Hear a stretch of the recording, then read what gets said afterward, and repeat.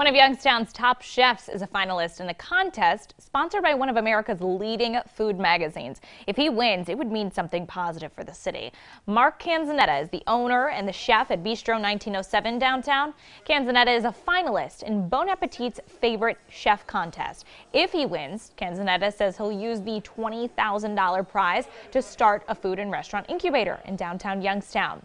Now, said Canzonetta, I'm overwhelmed and honored. I feel that it would be a big win for the entire valley. Now, this place is known for wonderful food and great chefs. We have this link to vote for him in the story at WKBN.com. All right, stay with us. Paul is going to be back with a final check of the forecast.